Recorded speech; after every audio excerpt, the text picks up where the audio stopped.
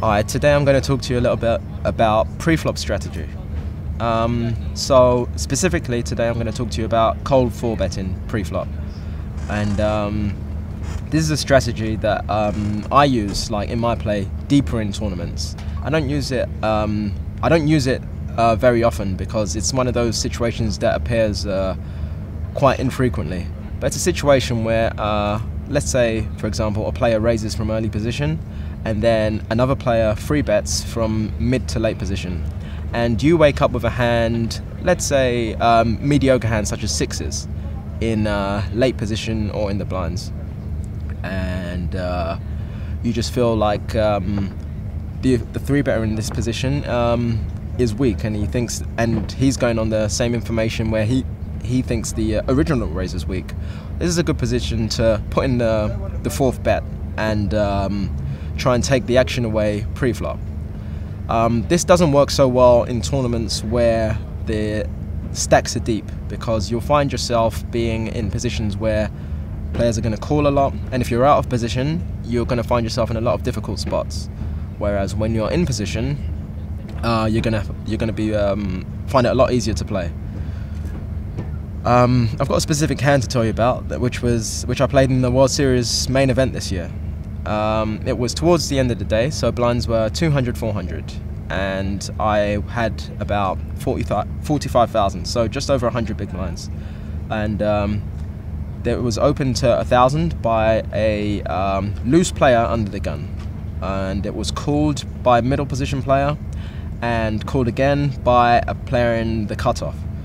And now the player on the button uh, decides to three bet to 4,100. Um, the player on the button is a very loose, aggressive uh, Scandinavian player. And uh, so it's folded round to me in the big blind now. And in the big blind, I wake up with uh, Jack Deuce offsuit.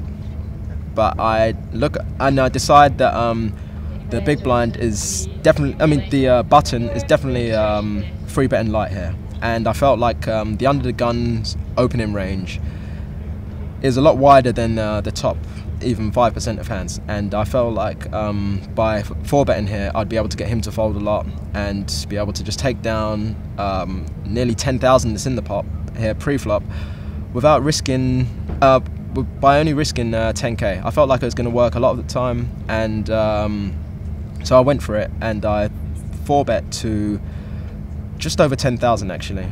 Um, it was actually quite interesting actually because the under the gun opener folded, but the guy in second position actually called, which set off alarm bells in my head, thinking that maybe he was trapping with aces or kings pre-flop. But he was uh, he was a recreational player who hadn't folded much like throughout the day, so I've just felt like um, so yeah, it was folded back. It was folded back round, and um, the original button opener folded. Um, the the button three better folded. So uh, the flop ended up coming ace 10 4, and I c bet to I c bet um, 5,500 because I felt like on this board um, he's going to be he's going to have called pre-flop with a lot of um, a lot of pairs. I feel, and uh, I felt like he was set mining quite a lot. I didn't feel like he'd have many big aces in his range other than, of course, the hand he's trapping with, such as aces or kings, or I didn't feel like he'd have ace king a lot either in this spot.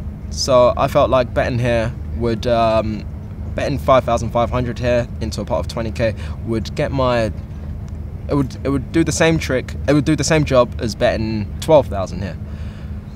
So um, I bet I bet 5,000. He folded. He folded, and I won the hand.